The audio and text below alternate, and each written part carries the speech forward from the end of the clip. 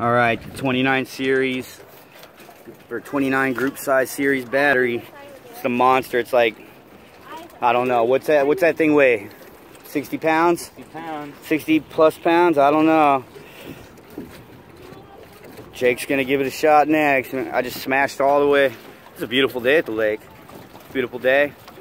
Big speed boats, major waves.